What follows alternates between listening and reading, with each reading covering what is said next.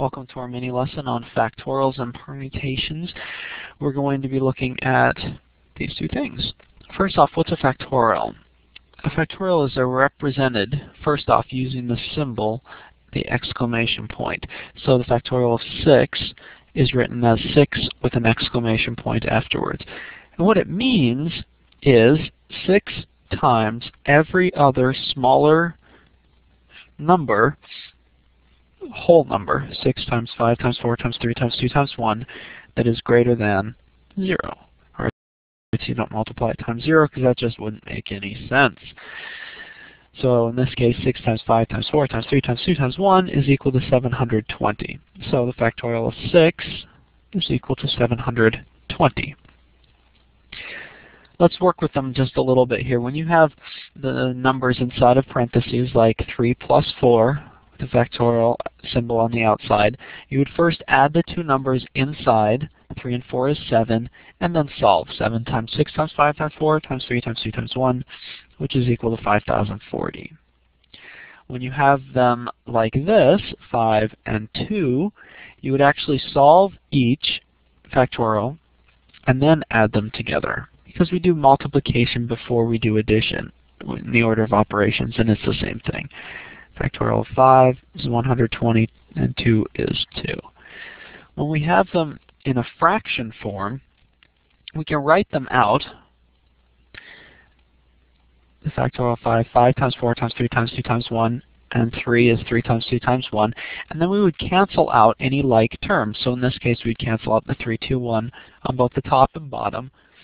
And we would just have 5 times 4, which is equal to 20. Well, it is in my class anyway. I don't know if you have another teacher that does something different and 5 times 4 gives you some other number, then anyway. In my class, it's 20, so we're going to stick with that. All right, now we can use that information to actually, oh, one more thing, back up a step. For some reason, although it doesn't make much sense, the factorial of 0 is 1. All right, that's just something that is out there. All right, back to our lesson. Now we're going to look at permutations. They are arrangements when the order matters. For example, if I have three marbles and I want to see how many different patterns I can make using those marbles, this would be something where I would need to use permutations. And I'll show you how that works. For the first spot, I would have three options.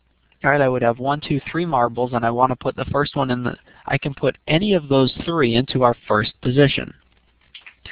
Then, when I, after I've placed the first marble, I only have two marbles left, so I have two options for the second place. And when I go on to the third spot, I've already placed two marbles, so I have only one option for the third place. In other words, you would say, to find how many different patterns, you would say 3 because that's how many options you have at first. Then you have only two options.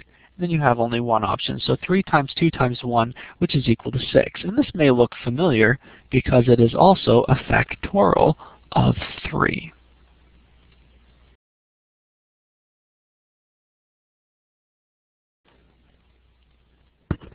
All right. Now here's our formula for permutations. For the permutation P, n would be the number of items. Like in the case of that last example, n would be 3, 3 marbles. r is how many items are taken or counted at a time. So in this case, r would have been, in the example of the marbles, r would be 3 because we took all three items. Does that make sense? So they're all counted at that at the end. Let's look at this and do an actual sample question. I think that this will help. If I have five baseballs and I want to hit them into a field, how many different ways can I choose the balls that I want to hit? So in other words, if it mattered what order I was hitting these baseballs, how many, I would pick one up and crank it into the field, pick the second one up and crank it into the field, how many different orders overall could I choose? So in this case, I'd be asking a question, and I would use my equation here. We have five items, and all five will be taken, so therefore n is 5, and all 5 will be taken, so r will also equal 5, and my equation will look like this. n is equal to 5. In both places I see n, I will substitute the value of 5, and in where I see r, I will substitute the value of 5. I should have put 5 in here and here as well. We'll do that in the next question. So to solve, I would do 5 minus 5 is 0. And remember that this actually equals 1.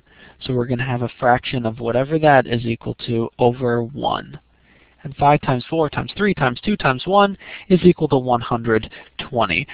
So in this case, there are 120 different ways, different orders, that I can hit these balls out into the field.